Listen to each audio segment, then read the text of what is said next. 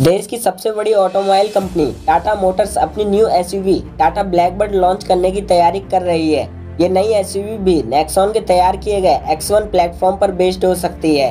इस एसयूवी में company connected car technology strong body architect coupe style body design और शानदार इंटीरियर जैसे कई एडवांस फीचर देखने को मिल सकते हैं। इसकी लेंथ 4.3 मीटर होगी। इस कार को खास बनाने वाली चीज़, इसकी कोपे स्टाइल रूफ और इसका 50 एम mm लंबा व्हील बेस है, जिससे कैबिन के अंदर एक अच्छा स्पेस देखने को मिल सकता है। तो चलिए दोस्तों, शुरू करते हैं इसके फीचर्स के साथ। इस एस में dual front air electronic brake force distribution के साथ anti lock braking system brake assist emergency stop signal vehicle stability management electronic stability control जैसे एडवांस फीचर देखने को मिल सकते हैं। अगर इसके इंजन और पावर की बात करें तो इस कार में 1.5 लीटर फोर सिलेंडर का पेट्रोल इंजन मिलेगा, जो 160 एचपी की मैक्सिमम पावर आउटपुट दे सकता है। साथ ही इसमें मैनुअल और ऑटोमेटिक दोनों ट्रांसमिशन गियर बॉक्स के साथ पेश किया जाएगा। इस नई एसयूवी का मुकाबला सीधा नई क्रेटा से होगा। दोस्तों, ये वीडियो कैसी लगी? कमेंट करके ज़रूर बताना। और हमारे चैनल पर पहली बार आए हो तो लाइक, कमेंट, शेयर ज़रूर करना।